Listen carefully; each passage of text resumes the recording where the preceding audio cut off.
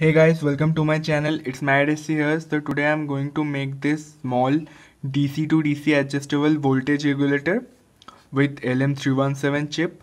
Let's slowly increase the voltage.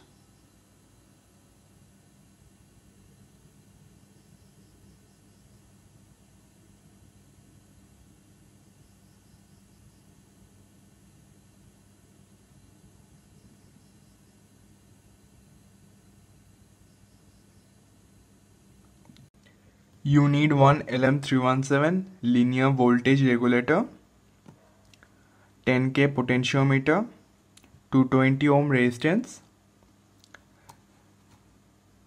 1 microfarad 50 volt electrolytic capacitor, 104 ceramic capacitor, it's a 0.1 microfarad capacitor and a piece of 0 PCB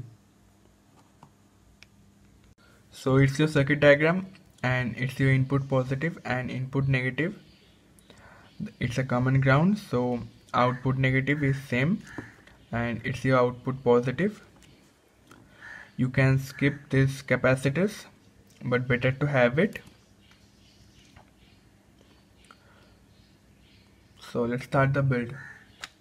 First I am going to make the circuit without this PCB cause it's easy to explain without that PCB and don't forget to attach a heatsink cause this regulator is going to heat up too much solder this resistance between pin number 1 and 2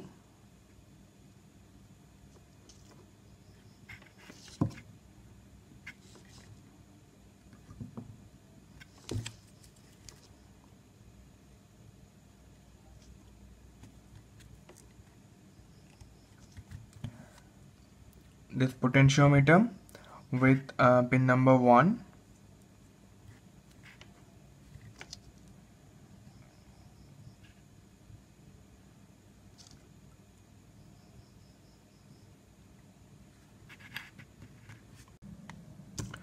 and connect the positive of this electrolytic capacitor with the pin number 2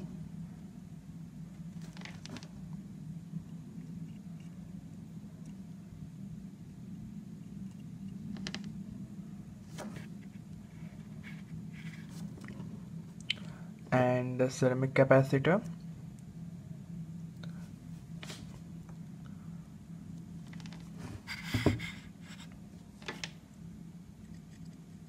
With the pin number 3 and the negative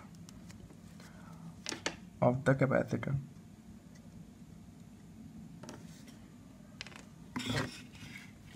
And a piece of wire with the negative of the capacitor and the other point of the potentiometer. I mean the middle point of the potentiometer.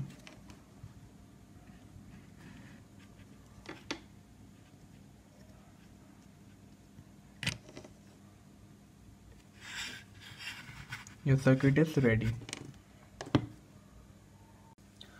So let's connect the input and output wires this capacitor's negative is the common ground, I mean the common negative for input and output.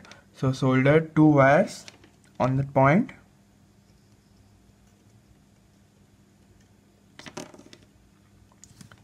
It's our input and output negative.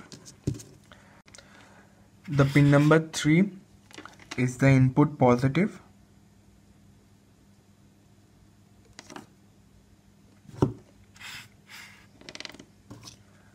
and this pin number 2 is output positive.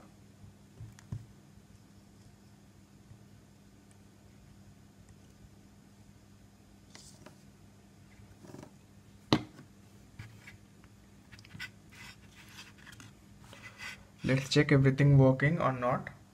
So it's a 12 volt laptop charger and you can power it up with transformers the maximum input voltage is 37 volt and you can get output around 1.5 volt to 35 volts.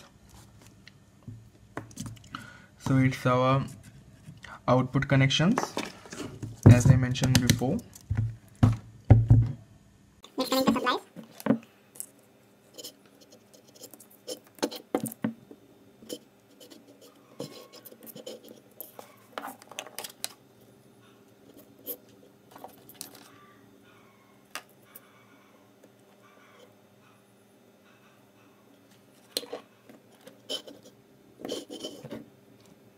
let's turn on the power supply. And it's the minimum you can get with this chip. Let's slowly increase the voltage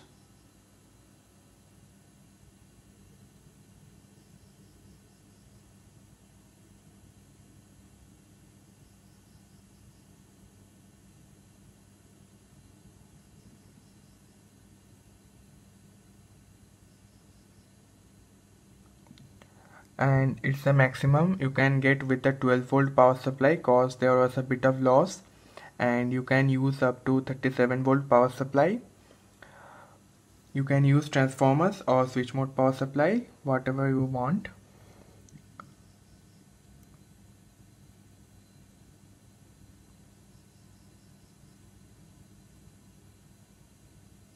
So it's working fine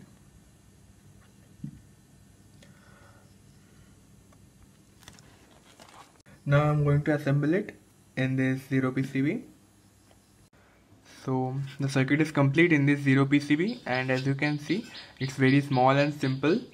In my next power supply video I'm going to make a lab bench power supply with current adjuster and current boosting feature. So keep visit to my channel for more updates and do like share and subscribe. Thanks for watching guys